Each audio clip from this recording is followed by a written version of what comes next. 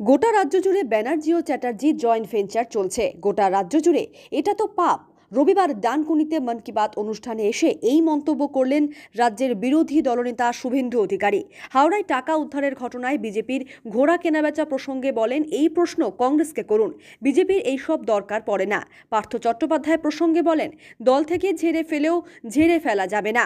মমতা বন্দ্যোপাধ্যায়ের নির্দেশে ভাইপো টাকা রাখতে দিয়েছিল। গোটা সিন্ডিকেটের মালিক হলো মমতা বন্দ্যোপাধ্যায়, পার্থ চট্টোপাধ্যায় আর অর্পিতা।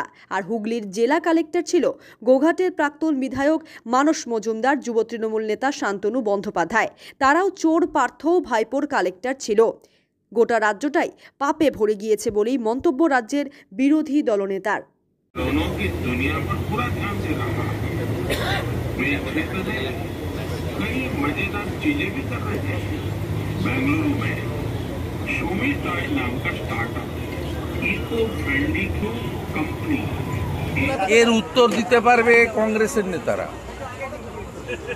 ভারতীয় জনতা পার্টির প্রয়োজন হয় না এসব করার।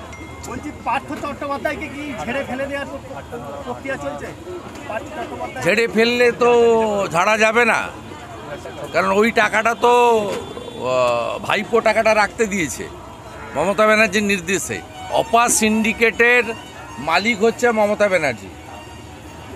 আর ডাইরেকশান দিত তার ভাইপো কয়লা ভাইপো। আর পার্থ চ্যাটার্জি আর তার অপা, একাধিক অপা আছে, তারা কাস্টোডিয়ান ছিলেন।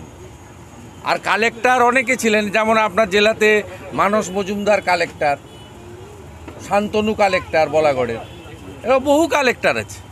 ভাইপোর কালেক্টর পার্থর নিজের কালেক্টর চোর পার্থর কালেক্টর আপনার শ্যাম মুখার্জি প্রাক্তন মন্ত্রী তাকে জিজ্ঞেস করবেন ও বারো কোটি টাকা তুলে দিয়েছিল বিনয় মিশ্রের মাধ্যমে।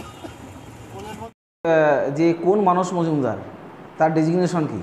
আমাদের জেলায় একাধিক মানস মজুমদার আছে। আমার সাথে ফেসবুকে সিপিএমের কোন্নগর এক মানস মজুমদার আছে। তো ওনার যদি সৎসাহস থাকে এটা যেন উনি পরিষ্কার করে বস বলেন তারপরে কত ধানে কত চাল সেটা দেখাবো। আর তারপরে বলি যে মমতা বন্দ্যোপাধ্যায় আমাদেরকে দুর্নীতিমুক্ত সমাজ গড়ার শিক্ষা দেন। এবং সেই পরামর্শ ওনাকে দিয়েছিলেন। ওনার পছন্দ হয়নি। উনি ইডি সিবিআইয়ের হাত থেকে বাঁচার জন্য বিজেপির ওয়াশিং মেশিনে ঢুকে নিজেকে ভাবছেন সাদা, সতী।